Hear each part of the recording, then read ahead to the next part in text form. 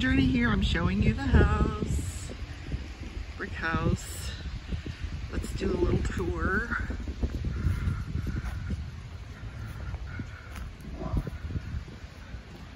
So it's really quite cute.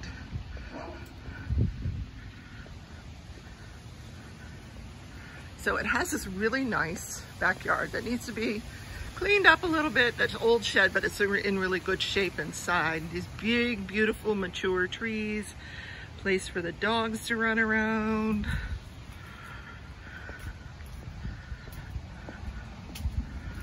And when we go in, okay, it has a converted garage, which this is gonna be the craft room slash studio. Um, none of the furniture is here right now. So right now we just have boxes. So, and in there's where the washer and dryer go. Then we have steps up to the kitchen. Yay. Hope I don't trip on those. Good thing I don't drink. Yes.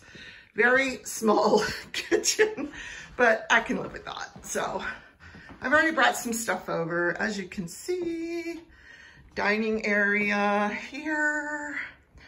It's very roomy, I think. Um, living room area. Look, I brought these over by hand so they wouldn't break. Yes, so they're there. Look at this cool thing though. It's built into the wall. That's pretty cool. So, and I love these big picture windows. There's a front door there. And then we have the bathroom.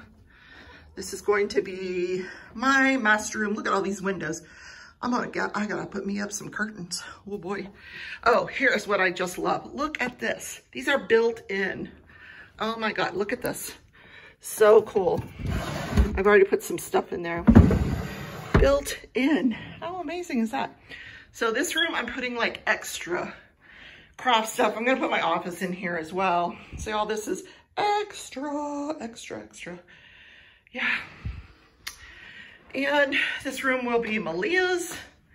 We gotta get some furniture in here. Two closets, so grandma's taking the two closets.